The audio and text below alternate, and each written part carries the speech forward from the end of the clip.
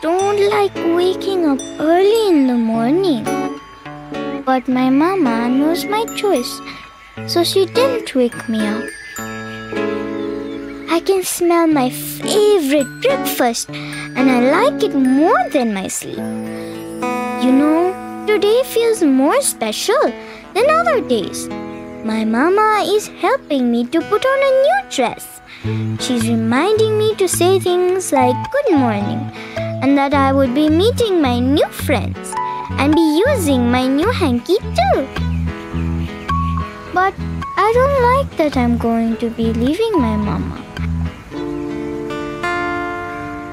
She tells me that I'm going to my second home where we'll learn and explore so many good things together.